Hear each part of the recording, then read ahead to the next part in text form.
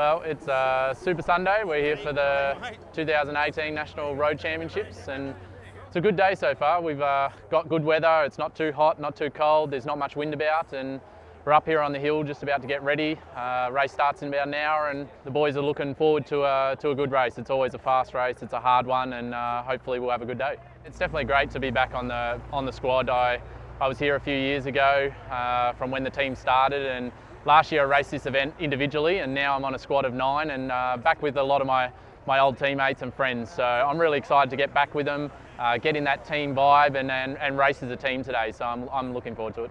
I think I was just looking at the trees before. I think it is like a little bit of a headwind at the moment. So uh, that's definitely in my favour compared to a tailwind. And, you know, it's been a tailwind the past few years, and then the first time I did it was a headwind, and that's when I did well. So hopefully the conditions are similar to uh, 2015. chasing. Someone else has come up. We were really on the front foot all day. Uh, it was a, a, fantastic ride by the whole team.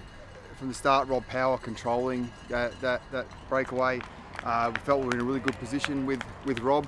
And as it started to come back together, it, uh, Alex just uh, took his took his chance, covering a move really, and uh, and looked so strong that we, we had to back him out the front.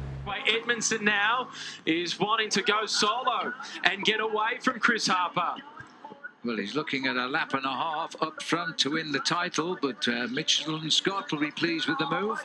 Everyone in the team has had the chance to win, and, and the guys know that. You've just got to put yourself in that in that position, uh, and that's exactly what Alex did. And uh, in that situation, it's always tricky. We've got to be sure that he's, he's, he's going to finish it off. Have, of course, we had Caleb behind, so we're in a, we're in a really great situation, but we're, we're very confident that uh, Alex could finish it off. It's now Alex Edmondson. He makes a last-ditch effort to try and hold on. Edmondson is coming. McCarthy is closing. It's Edmondson with his hands in the air. It's Harper. No, it's, it's McCarthy who gets there, and it is Harper in third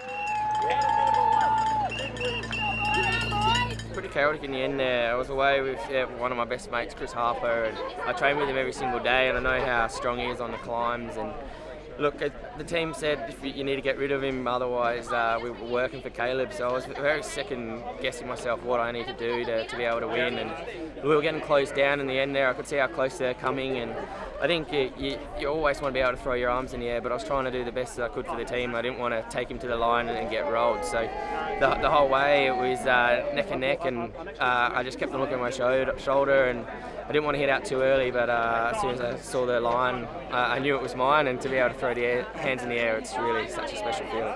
He rides for Mitchelton Scott, and he will be crowned 28 winner, 2018 winner, Alexander Edmondson.